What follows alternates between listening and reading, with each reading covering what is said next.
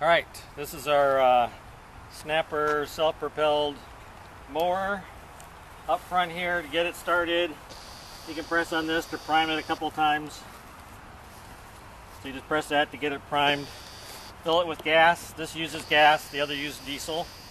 There's a separate can for the gas. You uh, pull in the safety uh, engaging there and uh, let's give it a pull. It should start up.